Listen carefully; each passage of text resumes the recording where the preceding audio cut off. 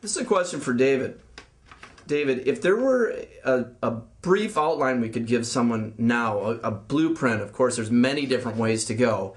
What would be the key points that you would recommend to a new or novice guitar player, even intermediate? Say we have a lot of people who've been playing your years that don't have a path, don't have a structure, don't have a plan. What would you recommend or give us the key guideline of things that you'd really recommend that we stress or they stress working on?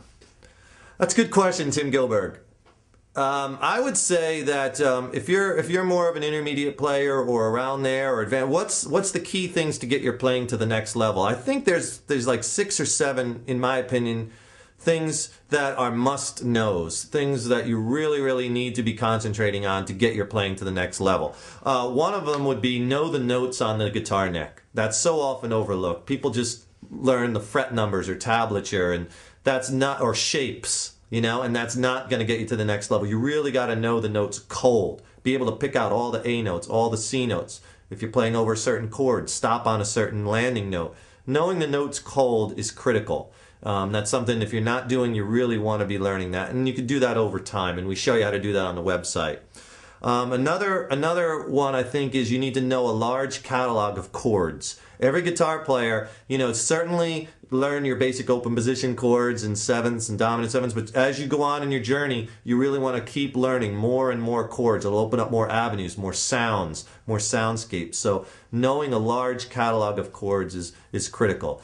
Um, another one would be uh, learn how to play and practice your rhythm skills learn really solid rhythm skills and work with a metronome you know too many people i think are focused too much on lead guitar only and if you want to focus on lead guitar, I think that's great. I love lead guitar too. But when you're in a band or you're playing with your friends or whatever, you're in a band, you're going to be playing rhythm 90% of the time. The solos are very small sections of songs. So you're, in my opinion, your your soloing skills are only really ever going to be as good as your rhythm skills. So you really want to have rock solid timing, work with a metronome, and really have a big rhythm vocabulary.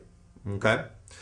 Um, another item would be learn how to analyze the chords if you're soloing that you're playing over.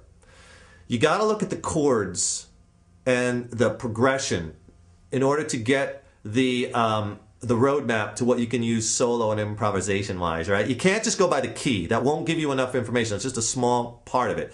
But knowing the chords and learning how to analyze them and knowing what scales, what modes you can play over each chord, that's really going to open up the fretboard and open up a whole new different sounds and textures and whatnot. But knowing how to do that is a critical step. Most people are just like, what key are we in, Frank? C, C minor. Okay, I'll play C minor pentatonic.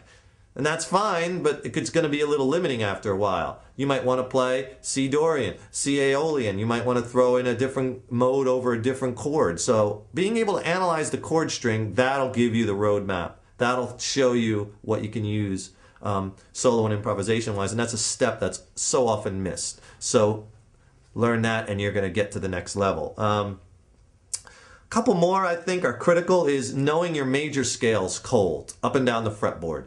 If you're just playing in minor pentatonic all the time, you know, you really want to open the door and learn your major scales up and down the neck. Because if you learn your major scales, then you know all the modes of the major scale. Okay, they're just different variations of the major scale. So learning the major scales really, when I teach students that, or when I teach privately and teach students the major scales and the mode, it, it, just totally sets them off and it gives them a whole another arsenal to choose from when they're soloing and improvising. So knowing those major scales is really critical. So you'll want to do that.